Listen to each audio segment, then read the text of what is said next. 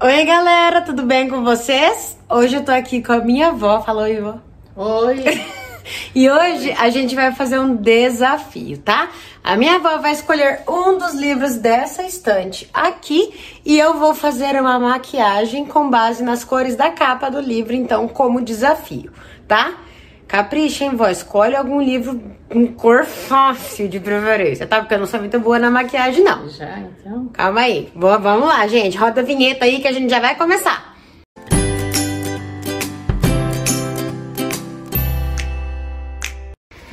Bom, gente, vamos lá. Deixa eu ficar de assim, que daí ela vai escolher um. Rosa, vó? Rosinha? Sim. Ok, É então... bem mais fácil, né, de fazer. Pra iniciante é bom, né? É. Se der certo esse vídeo, depois você escolhe os mais difíceis, tá? Então, segura pra galera ver o livro que você escolheu. Ah, gente, ela escolheu o livro Os Delírios de Consumo de Beck Bloom na capa antiga, tá? Da Sophie Kinsella Chiclete, com tons mais pastéis. Rosa, dá pra gente usar um azulzinho também. Então é isso, obrigado, vó. Depois eu te mostro o resultado, tá? Obrigada. Vamos lá, gente. Bom, gente, como vocês podem ver, agora estou aqui no meu banheiro, tá? A minha avó pegou, então, um livro da minha estante, Os Delírios de Consumo de Beck Bloom. Ela foi bem boazinha dessa primeira vez, porque ela sabe que eu ainda estou em processo de aprender a fazer maquiagem. Então eu vou fazendo, tá? Mas basicamente eu vou tentar usar o quê? Daqui o rosa, um azulzinho, que eu já até pensei alguma coisa legal pra fazer aqui com essas duas. Vou mexer mais nisso no tom da sombra, né? Porque eu vou fazer a pele normal, mas o que eu vou usar as cores daqui são nas sombras, ok? Eu tenho algumas coisas aqui, vou mostrar pra vocês. Não tenho muitas coisas, porque não sou profissional, mas tem algumas coisinhas aqui que eu quero mostrar pra vocês. Se tiver eco, gente, desculpa, é que eu realmente tô no banheiro, vou gravar aqui, porque tem um espelho aqui e vocês aqui, então eu consigo fazer tudo ao mesmo tempo, tá? Pra quem ainda não é muito, enfim, prático na coisa, né? Talvez seja um pouco mais difícil, mas a gente vai tentando, tá? Então tá aqui o livro, vocês já vê, olhem ele bem as cores que tem aqui, porque depois eu vou colocar ele do meu lado para fazermos, enfim, a foto que vai ficar de capa do livro, do vídeo. Vamos lá. Bom, gente, o que eu tenho de paleta são isso daqui, tá? Eu vou mostrar pra vocês, eu... Ixi, tem algumas que estão até coisando.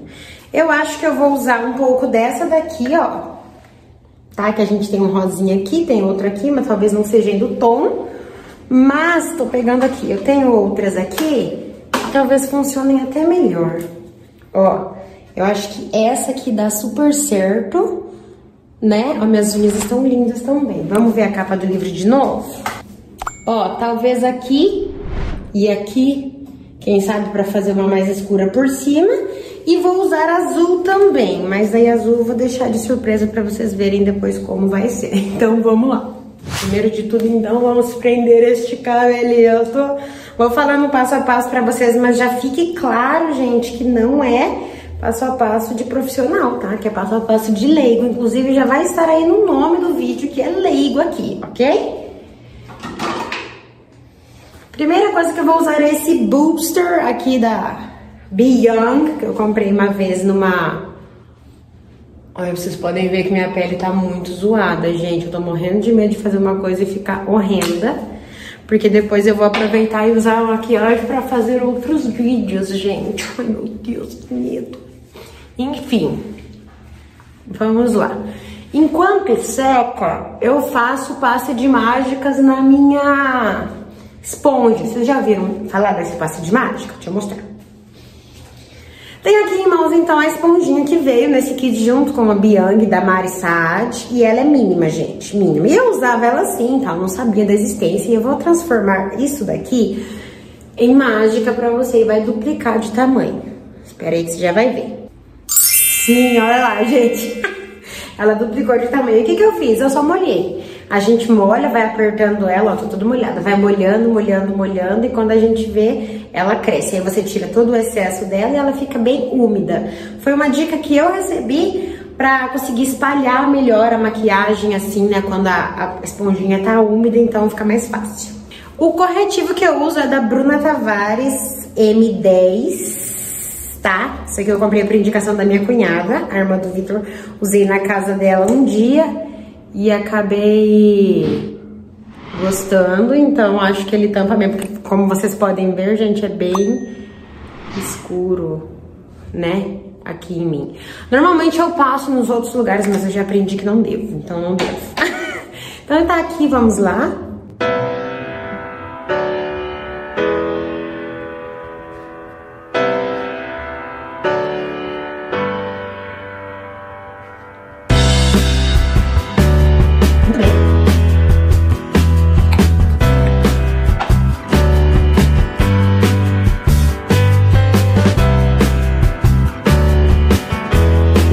Faço, gente, primeiro a pele, tá? Eu sei que algumas pessoas fazem primeiro os olhos para depois a pele, mas eu faço a pele primeiro porque assim, a pele tá feia, eu não consigo fazer, achar bonito o a minha sombra, tá? Então a base que eu uso é essa da Bianca Color Second Skin 30C e eu faço assim, gente, espalho assim com isso aqui, ele vem com uma espátulazinha, tá? Não sou a craque de nada, simplesmente passo assim. E vamos lá. Opa, esqueci de pôr no nariz.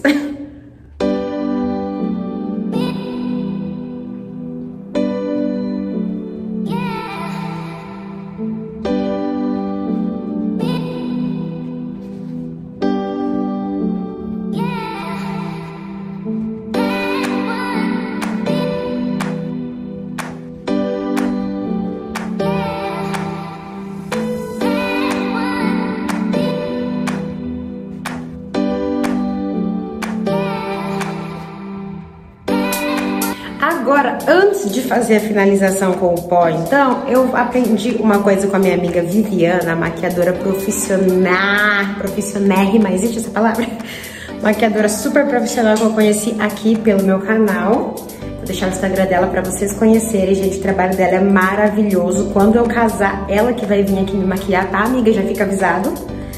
E ela ensinou em uma live dela uma dica muito valiosa, gente, que é a gente passar um pó translúcido aqui embaixo, ó, para não estragar quando a gente passa a sombra, caso vier, né, a cair um, um pouquinho de sombra na nossa parte de baixo aqui da olheirinha, então passa esse pozinho que ele segura bem.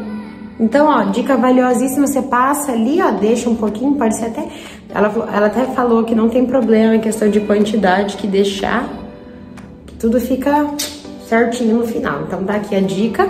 E agora eu vou começar a fazer a sombra, tá, gente? Que medo!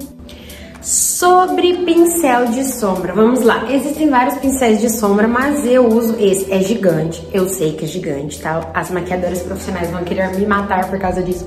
Mas eu gosto dele pela praticidade mesmo da quantidade que coloca. Como eu não tenho muita praticidade de fazer todo aquele esquema de bibibi, bibibi, eu coloco ele. Quem me ensinou isso foi uma vendedora lá do Boticário. Ela me, me indicou essa peça aqui, que já vem com essas duas pontas, pra quem não sabe muito de maquiagem, só pra fazer aquele glamzinho, aquele, né? Coisinha diferente. Mas eu consigo transformar isso também em uma coisa melhorzinha, assim, mais bonitinha, tá? Vocês já vão ver. Então eu vou pegar essa minha cor aqui, tá? Da minha maquiagem da Da Pop Cosmetics. Então, essa é a cor que eu vou pegar, então eu passo bastante e vou aplicando, gente. Só assim, ela me ensinou que é super... Como é um pincel grosso, só aplica assim, ó. Só aplica sem fazer muito estardalhaço, sabe? Vamos colocar mais um pouco pra ficar bem da cor da capa do livro, né? Vamos ver se vai dar certo. Pronto, tá aplicado só, gente, ó, ó, aplicado, sem aquele esfumaçado, sem nada. Isso a gente vai fazer depois quando a gente for finalizar, tá? Aí, gente, a gente sabe que existe também... Tá, mas eu acho que vai ter que colocar só um mais escurinho mesmo, né? Vou colocar esse aqui. Então a gente coloca um pouquinho mais escuro, ok, gente? Ó, nada muito absurdo, até porque nem sei, né? Nem sei fazer. Nossa, aposto que tem maquiadores querendo me matar por causa do tamanho da Enfim, agora dá aquela misturadinha aí, que seria mais ou menos o das profissas, né? E é isso, minha avó escolheu uma maquiagem super fácil, gente, super, a cor super fácil, nem precisa chegar nada. Só que eu vou fazer uma coisa diferente. Eu vou usar então o lapisinho azul aqui pra gente combinar um pouquinho com esse azul, tá? Ele não é bem o mesmo azul, mas é o lápis azul que eu tenho pra gente fazer então o delineado. Então vamos lá!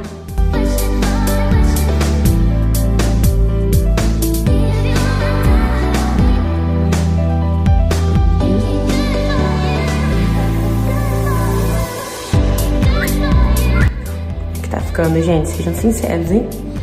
Pode falar aí nos comentários. Agora eu pensei que eu sempre fico meio cega. Por quê? Porque o quê? Porque quando eu, como eu fiquei segurando esse aqui, ele me deixa um pouco cega, mas daqui a pouco minha visão volta. Enquanto isso, eu vou fazendo como eu consigo, tá? Mas maquiadora profissa querendo me matar. Deixa eu olhar aqui no espelho se tá certo, peraí. 2,000 years later. É comum a gente ficar meio cego, gente? Tô meio cega, tô meio cega. Parece que tá queimando meus olhos. Enfim, tá? Aqui eu vou passar um brilhinho aqui, tá, gente? Porque não tô, não gostei. Acho que precisa de mais um, uma coisinha, peraí. Aí eu pego essa daqui minha da Intense, ó. Tem os brilhozinhos aqui. E dou aquela jogadinha. Bem básica. Só pra dar um, um upzinho. Nota-se que eu não estou de sobrancelha feita. Nota-se que um lado tá maior que o outro. Aqui, ó. Mas tá bom.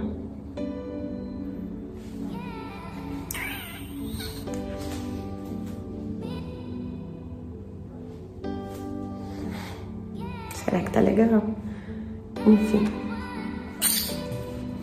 Agora, depois de pentear,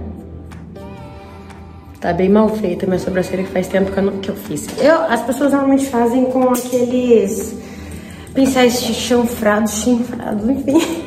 Mas eu gosto de usar essa canetinha que eu já falei pra vocês no vlog do Boticário. É uma caneta que é igual aquelas canetas de escola. Só que aí a gente tem vários pra várias coisas, ó, a sobrancelha delineada em cima, brilhoso parte da sobrancelha, bibi. Então eu gosto de fazer a sobrancelha com esse porque ela fica bem marcadinha. Você vai virando e ele vai apontando, gente, é muito legal. Aí você pode deixar marcadinho como você quiser. E a sobrancelha, como vocês podem ver, tem bastante falha. Então, olha só a diferença, que legal. Estão vendo, ó? Essa falhinha aqui é pra acabar. Deixa eu ele no espelho, peraí. Agora deu certo. Venho aqui e faço a mesma coisa. Estão vendo como é a entrada da minha sobrancelha aqui, ó? Eu tenho mania de arrancar a sobrancelha assim, gente, ó. Ficar puxando. Tenho mania de arrancar cabelo, de arrancar sobrancelha. É super a minha cara fazer isso. Então, fica cheia de falha. Aí, o que, que a gente faz? Dá aquela pintadinha básica. Tá dando cara agora, tá dando, começando a dar cara agora essa, essa maquiagem. Enfim, tô até gostando. Vamos lá, fala pra mim, gente, se vocês gostam de tatuagem, pra, de tatuagem, de maquiagem pra leigas. Com a calma que aqui a gente vai consertar, tá? Muito bem, feito isso, agora vamos para o pozinho, tá? Então vamos passar o pó que não tínhamos passado até então.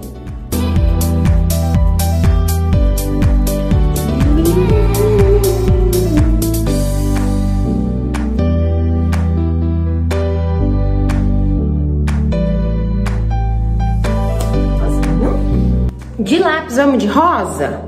Embaixo? O que vocês acham? Vamos ver? Olha lá. Inclusive, acabei de ter uma ideia super legal.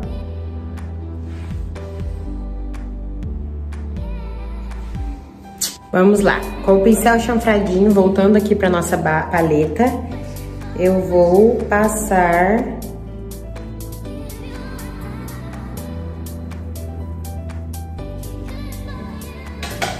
Vamos ver se vai dar bom.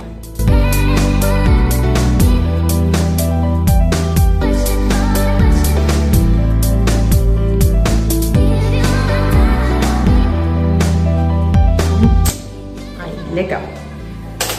Agora vamos para a máscara de olhos. Máscara para olhos? Falei certo? Máscara de cílios.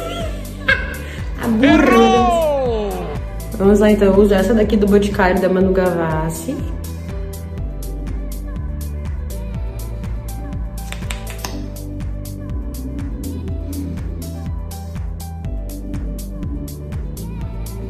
Se alguém tiver alguma dica valiosa aí de como disfarçar as espinhas, gente.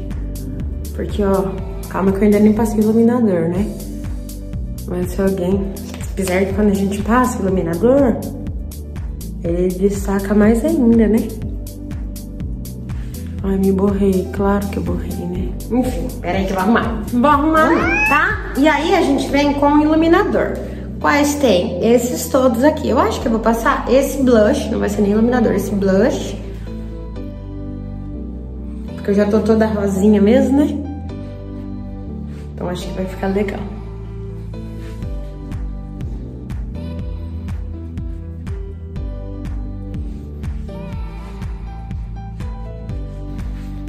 Nunca é demais, gente. Blush é, blush é coisa linda, né? Vamos ver. Vamos ver o resultado, então.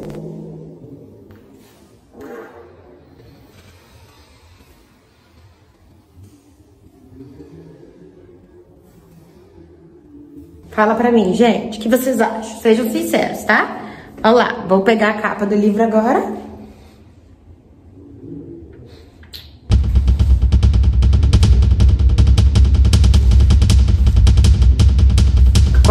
O que vocês acham? Ficou combinando? Sim, não, não, sim. Contem para mim aí nos comentários. Gente, foi um vídeo bem assim diferente. Espero que vocês tenham gostado. Contem para mim o que vocês acharam. Se vocês acham que eu faço mais vezes com outros tipos de. Enfim, eu devia finalizar com um brinco, né? Uma maquiagem, mas tudo bem. Conta pra mim se vocês acham legal de eu fazer mais esses tipos de vídeo, tá? Aqui nos comentários com dicas para leigos, gente. Eu gosto de dizer que é para leigos, porque aqui não tem ninguém que... Tudo que eu sei eu aprendi olhando os outros e, enfim... A gente até aqui no vídeo dá aquela disfarçada, mas não fica meio aquelas coisas não, tá? Mas é pra diversão mesmo, espero que vocês tenham gostado, contem pra mim se gostaram aqui. E lembrando de se você não é inscrito ainda no canal, seja muito bem-vindo, clica aí pra se inscrever e ativa o sininho. E se for comprar qualquer coisa pelo site da Amazon, lembra de usar o meu link, ok? O livro de hoje escolhido então pela minha avó foi Os Delírios de Consumo de Beck Bloom, da Sophie Kinsella, onde eu fiz essa make. Espero que vocês tenham gostado e nos vemos no próximo vídeo. Tchau!